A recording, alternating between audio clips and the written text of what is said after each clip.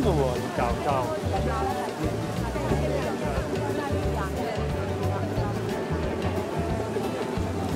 Vorremmo che il Porto regalasse alle donne piemontesi la possibilità di fare l'886 senza il ricovero con il day hospital. Del resto questa è una materia di contraddizioni. Il Piemonte è la regione dove Cota disse che l'886 sarebbe marcita nei magazzini e invece abbiamo il record in Italia con 20 ospedali che la utilizzano e oltre 2000 casi. Basti pensare che non so, nella Puglia di Nichivendola c'è uno solo ospedale che la utilizza.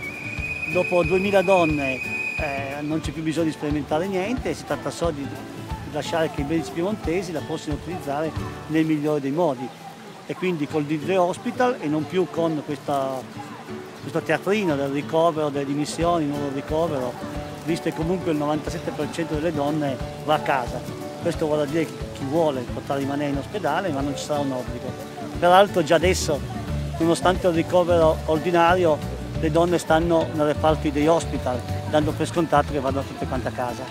Ecco, tutti questi sacchi hanno raccolto pillole utilizzate dalle donne Certo. piemontesi. Sono le scatole che diciamo che nel- nella raccolta differenziata invece di buttarle nel rifiuto tal quale le abbiamo mantenute e oggi le utilizziamo e vorremmo regalarle al Presidente Cota.